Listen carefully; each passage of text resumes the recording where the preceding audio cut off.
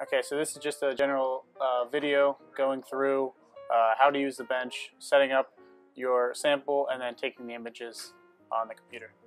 Uh, so the first thing you want to do is uh, once the enclosure is open, you can go ahead and take off the covers on the eyepieces. Uh, then you're going to take your sample and load it onto stage holder. Uh, once you have that on there, you can go ahead and turn on the camera, which is this switch right over here. Uh, that'll take a couple seconds to warm up anyway. While you're doing that, you can go ahead and this switch here is the LED driver. You turn on that.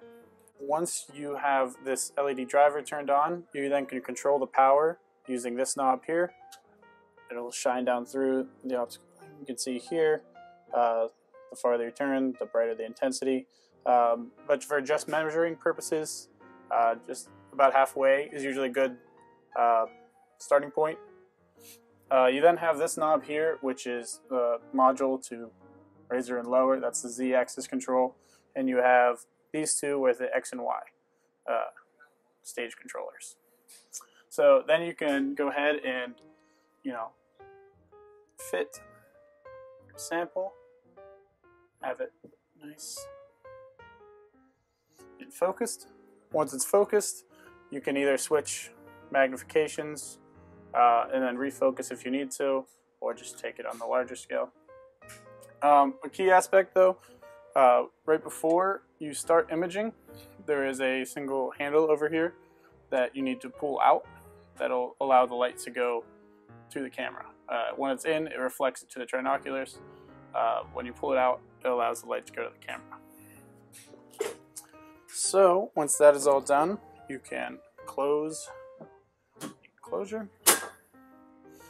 and open up the ThorCam program on the computer.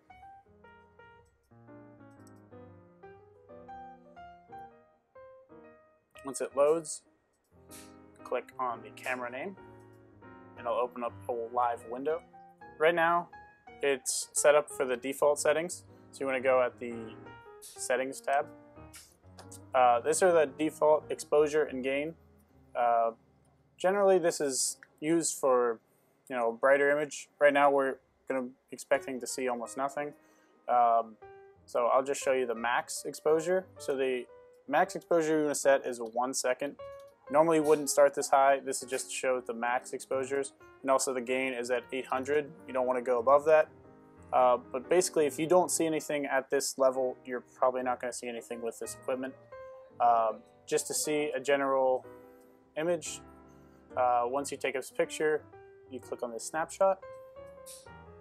Uh, the snapshot will then load, takes a second, and there you have this.